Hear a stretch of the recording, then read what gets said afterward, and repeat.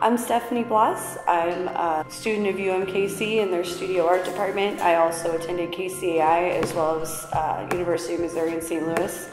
I have a degree in graphic design and I'm finishing a degree in painting and studio art with a minor in art history. The artwork that I try to do here, I try to design paintings. They're easy for people to do, but at the same time, they're made to look a lot more complex and impressionistic than they might otherwise think that they're capable of. I did the Kansas City Starry Night, which is the Starry Night over the plaza.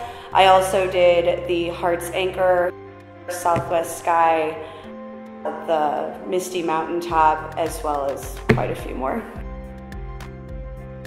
I really like the fact that people come in who say that they haven't painted since they were in kindergarten, and then by the end of it, they realize that painting is just like everything else. It's just you have to sit down and focus, and it's just about working at it.